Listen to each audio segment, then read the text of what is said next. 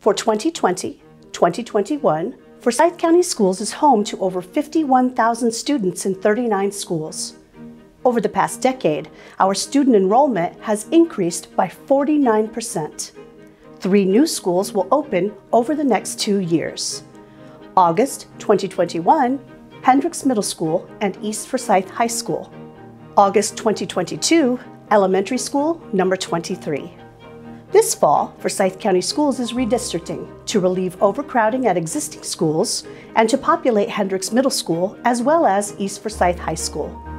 Hendricks Middle School will be the county's largest middle school with the capacity for 1,475 students. Cheryl Riddle will serve as principal. East Forsyth High School will be Forsyth County's seventh traditional high school and can accommodate 2,125 students.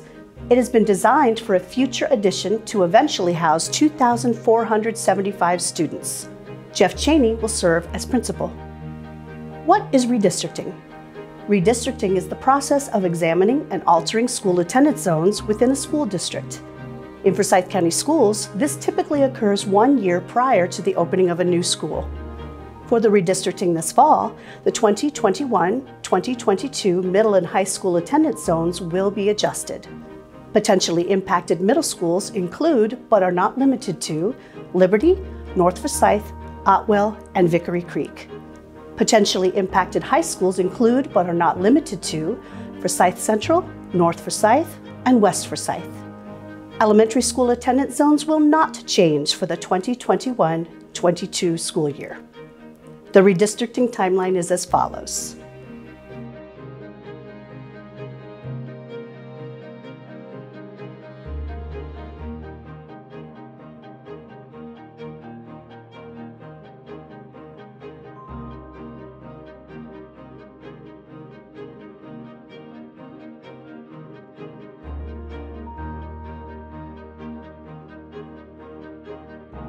Please note that we will be following the standard practice for upper grade students that are redistricted.